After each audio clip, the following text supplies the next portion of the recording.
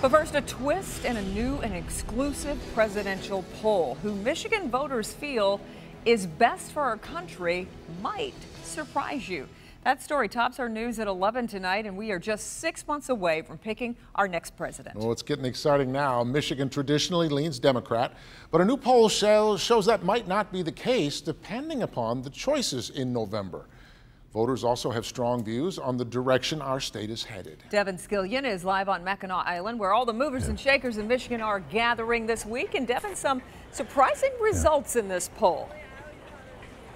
They sure are, Kimberly and Steve. A lot for people here to chew on. This conference gets underway tomorrow, really in earnest. It is almost by definition a gathering of political junkies. They're already talking a lot tonight about this extraordinary presidential race we're watching, and our numbers will have uh, even more fodder for talk and thought tomorrow.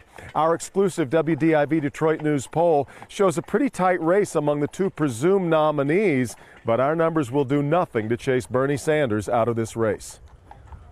Bernie Sanders won the Michigan primary, and while his chances at the nomination have waned, his popularity is not. Right now, among Michigan voters, Hillary Clinton leads Donald Trump by 5%.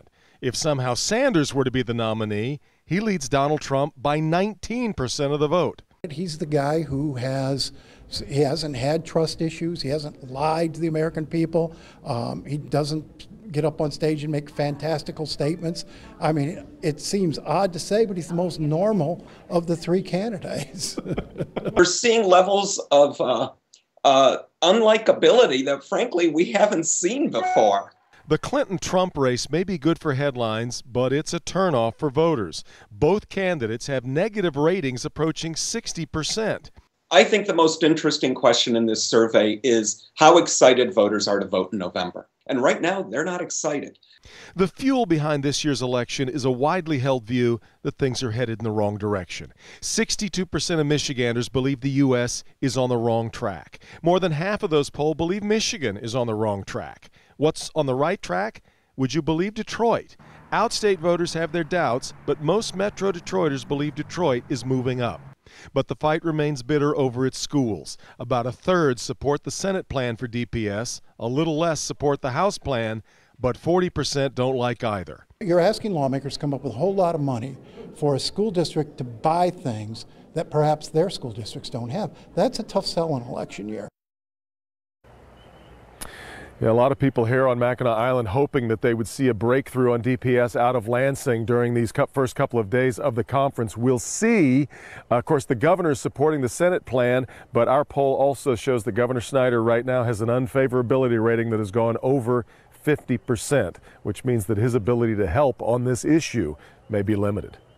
Stephen Kimberly, back to you. Okay. Uh, well, Devin, what's on tap for tomorrow as the uh, conference kind of gets started here?